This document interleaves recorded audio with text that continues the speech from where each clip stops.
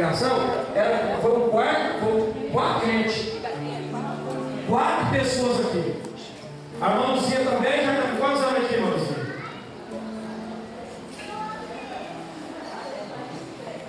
Só? Quase 50? Mais de 50. Então tá aí. Tá vendo? Então glória a Deus, velho. Aí, é nosso primeiro crente aqui.